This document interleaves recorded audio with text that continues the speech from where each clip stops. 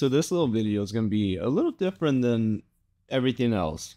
This is my workflow and process of how I confirm symmetry of my uh, 3D scans prior to me designing anything. So that way, the way I like to work with is I work with half an object and then I mirror it and I 3D print it. So here what you're seeing is a real CAD model. This is a real OEM 3D asset that uh, when I was doing some freelance work for a company, uh, they sent me this data to create some images for them.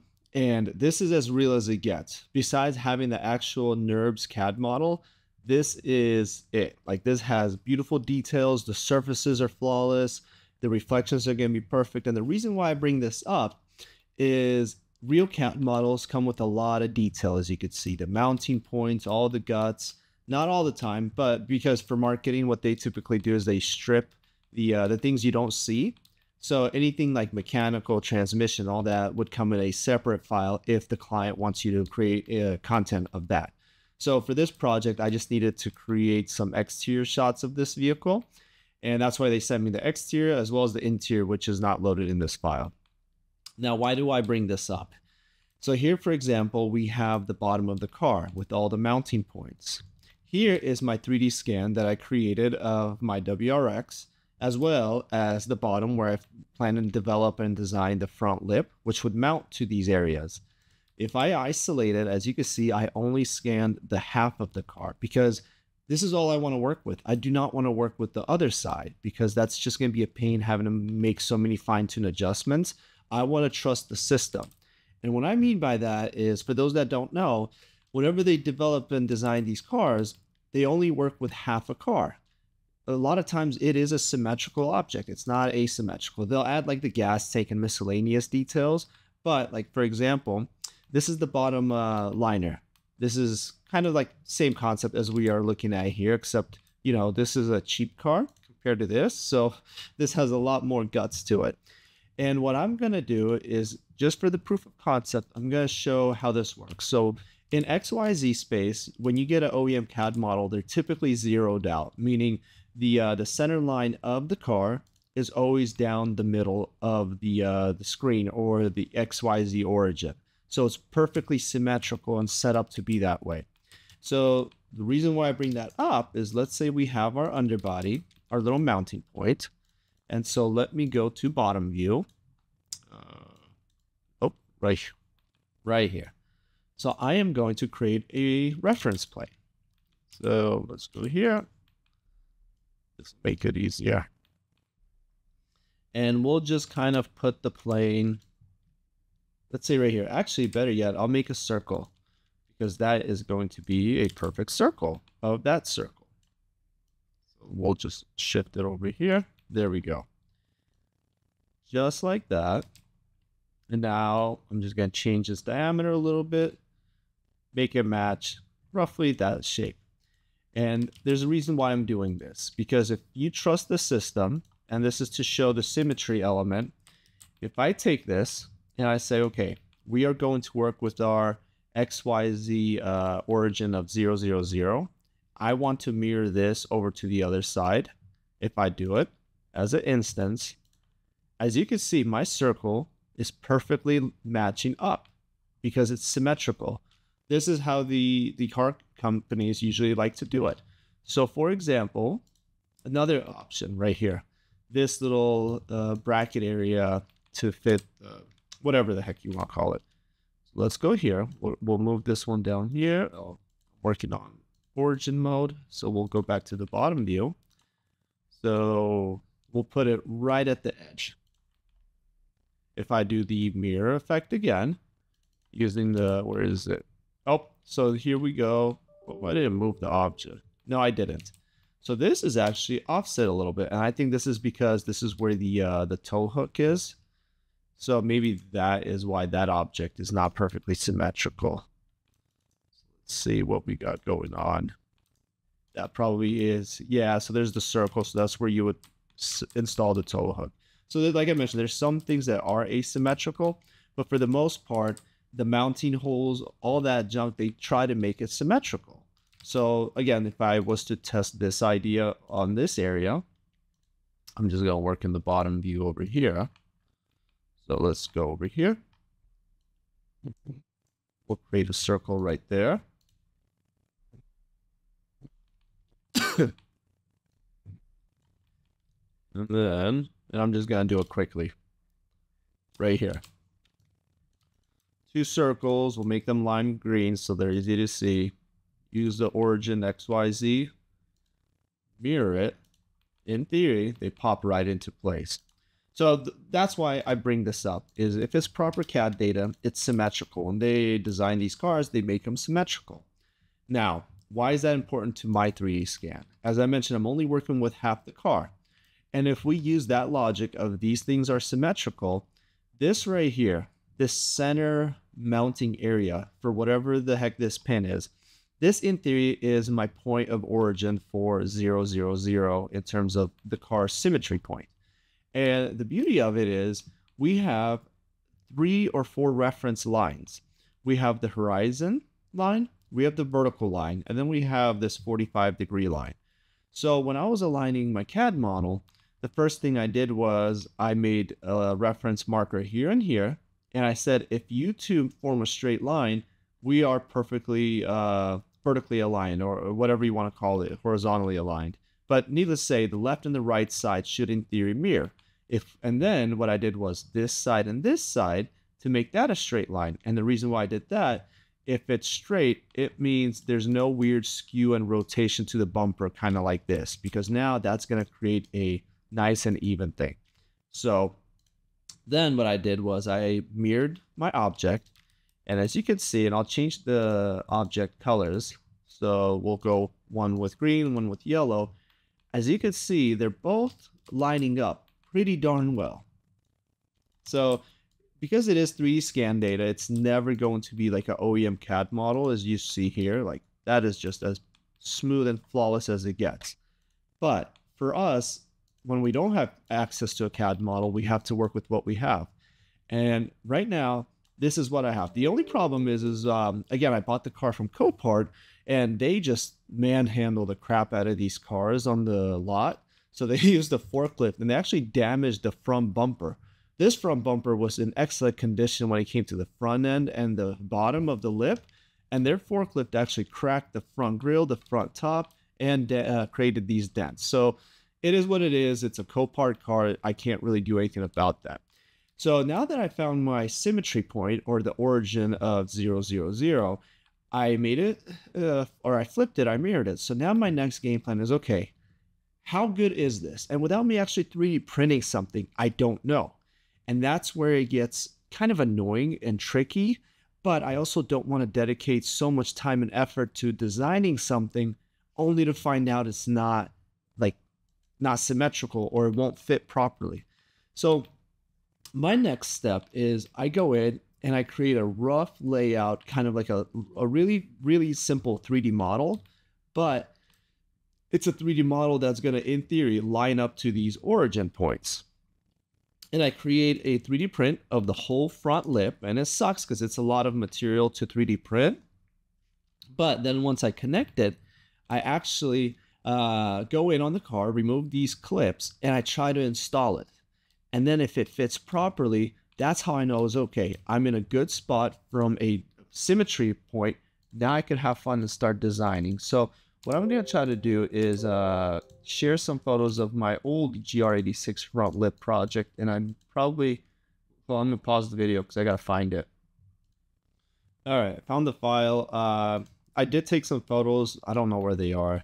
But anyhow, so this was the 3D scan. And here's here's what I did for my test. So I actually just designed this little bit to fit the bumper, as you could see, as good as possible. And the key points were right here, where the mounting brackets are. And I actually 3D printed this section. And then when I put it on the car, they actually popped right into place and they worked. So then I had the confidence of, okay, it actually works out. I could now go into the design stage and I started designing the rest of the, as you can see, it's symmetrical. And so that's where the beauty of that kind of workflow comes into play is so like right here, this was the final version. Um, I never made this lip, but the final version for the design stage. As you can see, all the mounting brackets, everything in theory is right there. So that way the lip bolts right up. So that's what I'm going to do for this WRX project. And I might actually just focus. Sorry about that. I might just focus on this front area only because um, if this hole, this hole, this hole, and this hole line up, and I kind of have the body lines, if you will, working as well. Again, because my my front end is damaged, um, I have to finesse it a little bit on my own. But I might I might actually try to fix it, or I may have to buy a new section depending on how this whole design stage works out. But anyhow, that's why I bring this up is I'm going to design a little simple object to 3D print so I could go on my car and try to test fit it because if it fits, and I'm going to try to make these lines right here as my reference markers. So that way when I install it and I could see how much of an offset there is with fitment. But the game plan is if it does line up and it bolts right up, then I know what I did with the symmetry is fantastic. This is my origin of working, which means this is good. So then I rotate my fender to match because what I did was I pushed a little bit of that fender scan into this area so now I took my fender scan data and I overlaid it and tried to make it match up as perfect as possible, which then kind of is a guide for my side skirt, which that matches up as you can see. So there's the side skirt, there's the fender, everything's working out, which then it, it, it uh, helps assemble the whole car with the ability to have it be symmetrical. And that's the key ingredient here is only modeling and spending time on half the car. So you could just flip it and then have two of the same identical, perfectly mirrored objects, which in theory should fit perfectly the same because as you see from this AMG GTR, they're they're symmetrical. The front fenders, for example, if I was to mirror this one, and then in 3D uh, Max, you could center the origin to the object. So for example, if I make this fender blue, and then I align it perfectly to this, as you can see, it's a perfect one-to-one replica and that's how CAD works with the real automotive industry. For the most part, is they try to make everything symmetrical. So even if we go to this back end quarter panel, which has the gas tank, for example. So if I was to flip it, just like we did on the other part, make a little color change, And then align it to this one. As you can see, besides this hole, which they add later on, they first build the perfect foundation for symmetry. Even the mounting points, everything, the game plan is to make it all as symmetrical as possible. And then after that, they just go in and they cut an opening for where the hole is going to be and only focus on adjusting that one little section. So that's why whenever I work on my CAD models and my design projects, game plan is always symmetry. So you work with half the car, half the object, half the time. So I'm going to go ahead and I'm going to quickly model this. I'm not going to record anything just because I have so many videos on that. I'm going to 3D print it, and then I'm going to make a little recording of me in the garage test fitting. and it could be good or it could be bad, but I will record the process so we could figure out what's happening. Worst case scenario, if this is not working out in my favor, I will go in, add more markers on the driver's side, and I will scan the whole bottom of the lip just to figure out where I'm going wrong, or if maybe this actual part is damaged to a point where it's ruining the uh, the body lines of these markers. Which again, to me, this is a, an amazing reference of of mirroring. Like this is the middle of the car right here, and it's lining up perfectly where we have it. So I didn't scan enough of the top, but I'm not designing anything on the top. I'm only designing the uh, the bottom, the sides, and so on and so forth. So, yep, I'm done recording this section. I'm going to do a quick little design, 3D print it, and then I'll hop into the garage with the proper camera, and we'll see what the heck we end up with. And here we have it. So please excuse the crappy audio. I don't feel like really setting up the DJI speakers and all that, but wanted to show you the test 3D print. So I made this two millimeters. It's really thin, so it makes it a little annoying to connect. I use my popsicle trick on the outside just because the inside I wanted to uh, not add any kind of uh, tolerance issues. So here's again the proof of uh, concept and show that the idea does work. as I mentioned, this was my point of reference for uh, symmetry right here. Sorry, the camera. I got to take a look at what I'm showing. So I use this marker as my proof of reference. As you can see, it is symmetrical. Now, the fitment itself has some uh, bugs. And I think that's due to the fact that this side, as you can see, has the damage. This one has its own damages. These guys at Copart, they just use forklifts and they just full send it when they move these cars around. So they did damage it, unfortunately. So I might have to replace this whole bottom trim piece. Um, but with that being said, this is the key ingredient is the mounting points worked. All of them work great. And so here's the other thing is because this was the actual side that I designed it to, and now take a look at the tolerances. Like, so for example, here we almost have no edge at all. Here we have almost no edge at all. Here we have, let's say, a little bit of a lip. It's barely any, but there's a lip. Here, almost identical. And then as far as uh, the outside edges goes, so take a look here. We're really tight on the crevice, and then we have maybe like two three, you know, about three to four millimeters of a gap between uh, where this indent is. We come over here, very, very similar results. So the exciting thing is, is it worked. I was able to only scan half the bumper. I did my alignment in 3D Max based on that little reference marker. I did symmetry and it is symmetrical, which is fantastic. So now I could work on laying out the rest of the design, focusing on only working on this side of the car. And then when I make it symmetrical, in theory, it's gonna fit right up. So I know there's gonna be a little bit of an offset just because it is what it is. So maybe what I'll do is I'll take my symmetry modifier and skew it over by let's say two millimeters. That might fix the uh, the little distortion we'll get along the way if it makes sense. Because what imperfection we have here is going to keep increasing as we get as far away to the side.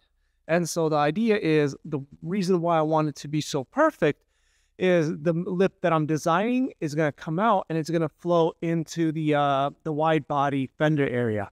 And so for it to all make sense and look visually appealing, all the lines have to match up. So anyhow, very, very exciting thing to see. Um, I'm glad based on me making this video and my idea, it actually is successful. So hopefully it helps other people kind of get a game plan of what they could do when they're 3D scanning and designing. So that way, if you're new to this, this could be a great way for you to save time. And uh, if you know what you're doing, then don't worry about this. This is a useless video. So this is not for you. If you know what you're doing, look away. Don't don't bother with this crap. But if you're new to design and new to scanning and all that nonsense.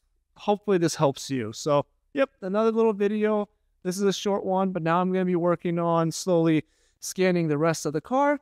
I threw a bunch of markers on here. This thing looks like it look, looks like it's got polka dots all over the place now. So I threw them all over there. And then on the back side, I threw some as well. And today I was kind of game planning. I'm actually going to try to probably redesign that whole rear end. I don't know what the hell they did here because this looks pretty uh, just weird and obnoxious, and then the front is pretty subtle. And so, yeah, I'm gonna do that, and I might potentially go with a one side exhaust only. And if that's the case, then I'm gonna make a bumper where it only has one exhaust opening, so that way I don't have two exhaust openings with only one exhaust. It was gonna look stupid. I think that's the dumbest thing when people do that. So that way, with me doing it for myself, I could design it where it's going to have one opening, and then this is just going to have a flow and all makes sense. So that's a that's a whole different type of project. But anyhow, just a little little update of what's going on there. And then for the wing, I kind of want something obnoxious like I have on my GTR, but I don't really know if I'm going to make it. I don't think I will. Unless I go with the duckbill. If I go big, I'm just going to buy one because I mean, this I love that wing. So if I throw something on this car, granted this car is going to be way slow. I'm not really doing any performance mods like I did on this car. But anyhow, way off track now. The focus was this thing and proof of concept. It works. It's symmetrical. It bolted right up. So yeah, I'm done. Bye.